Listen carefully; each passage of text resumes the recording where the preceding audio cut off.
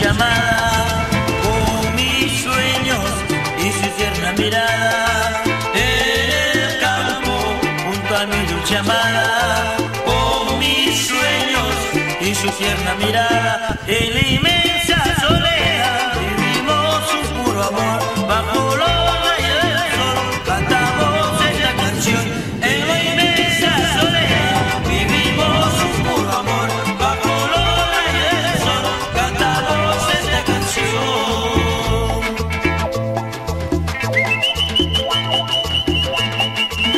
que vem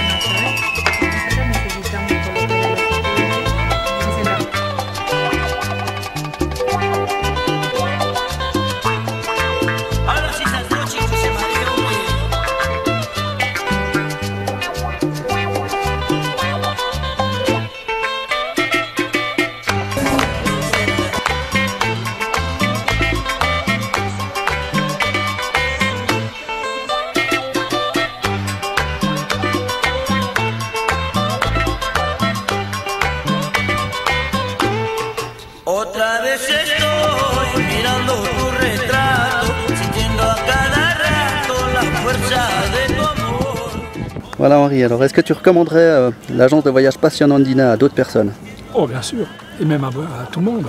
C'est euh, le meilleur moyen de voyager tant qu'on a une bonne condition physique, euh, l'esprit ouvert, et puis euh, pas l'esprit euh, trop, trop mouton, euh, d'autant que on a la possibilité d'avoir la souplesse maximum, euh, une assistance et une compréhension à tout égard et euh, dans toutes les circonstances qu'on a pu constater. Ils sont attentifs, à l'écoute de ce qu'on souhaite. euh, ils se plient en quatre pour nous satisfaire. Ça ne peut pas être mieux.